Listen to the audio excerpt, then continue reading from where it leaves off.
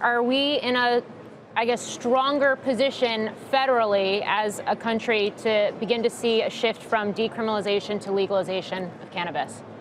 Yeah, I don't. I wouldn't attribute um, where you are now to a single actor. I would say it's a whole bunch of inaction. But what I see in uh, the U.S.